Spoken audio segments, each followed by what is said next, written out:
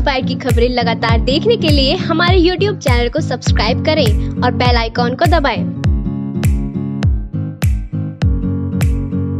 इस खबर के प्रायोजक है KMC health city and KMC cancer institute, उत्तरी भारत का आधुनिकतम सुविधाओं से युक्त चिकित्सा संस्थान, बागपत रोड, मेरठ। खबर 2020 की है।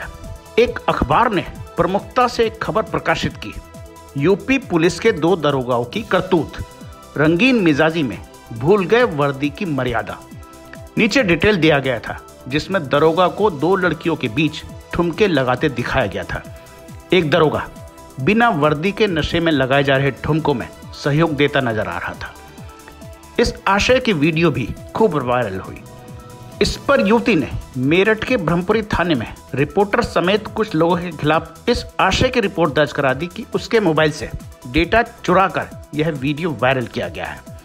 दरोगा अरुण कुमार उसकी बेटी की बर्थडे पार्टी में पारिवारिक सदस्य के नाते आए थे। अब इस घटनाक्रम का सनसनीखेज मोड़। आज उस महिला ने पुलिस कप्तान के समक्ष पेश होकर दरोगा पर सनसनीखेज आरोप लगा दिया है। आरोप है कि उसके साथ पिछले कुछ सालों से पिस्तौल कनपट्टी पर लगाकर अथवा चरस घर में रखकर सभी को अंदर कर देने की धमकी देकर लगातार बलात्कार किया गया है। पुलिस कप्तान ने मामले की गंभीरता को देखते हुए तुरंत जाँच गठित कर वैधानिक कार्रवाई शुरू कर दी है। मैं हूँ रवि शर्मा और आप देख रहे हैं फ़र्स्ट बाइट डॉट टीवी कभी वर्दी और नशे में सपना चौधरी के गाने पर महिलाओं के बीच ठुमके लगाकर वर्दी को तार ताड़ करने वाले दरोगा अरुण कुमार पर अब यह गंभीर आरोप लगा है। अरुण कुमार उस वक्त थाना ब्रह्मपुरी मेरठ की शॉपिंग मॉल पुलिस चौकी पर तैनात था। अब हस्तनापुर में भद्रकाली चौकी पर। देखिए वह वीडियो, जिसके बाद वरुण चौधरी ने वर्दी को शर्मसार कर दिया था।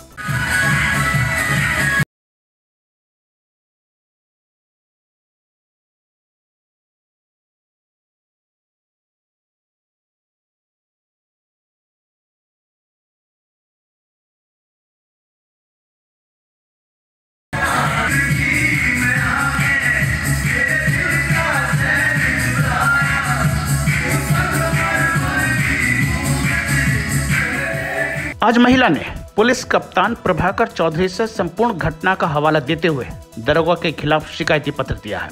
इसके अलावा महिला ने यह भी कहा कि पूर्व में दरोगा के कहने पर ही उसने अखबार के रिपोर्टर व अन्य के खिलाफ कोर्ट के माध्यम से रिपोर्ट दर्ज कराई थी। बाद में महिला ने फ़र्स्ट बाइट को यह जानकारी दी। एक दरोगा है तीन चार सालों से मेरा उत्पीड़न कर रहा है, ज़बरदस्ती मेरे साथ सब कुछ करता है। और कभी मेरी बेटी को मारने की धमकी देता है, कभी मेरे पति को मारने की धमकी देता है। घर में आकर के पति के भी कई बार बंदूक रख दी, जहाँ नौकरी करते हैं वहाँ भी चला जाता है। वहाँ ज़बरदस्ती करता है कि मेरे साथ चलेगी। हर जगह से मुझे नौकरी से निकाल दिया जाता है उसकी वजह से, क्योंकि वहाँ जाकर वो हंगामा करता है और बीच बीच में उठाकर मुझे ले जाता है। अगर नहीं जाती तो वहीं पर सबके सामने मार पिटाई करता है, काटता है यहाँ तक कि और फ़ोन छीन के फेंक देता है, फ़ोन नहीं उठाती तो। घर में आ जाएगा अरुण अरुण कुमार, अरुण दिवाकर।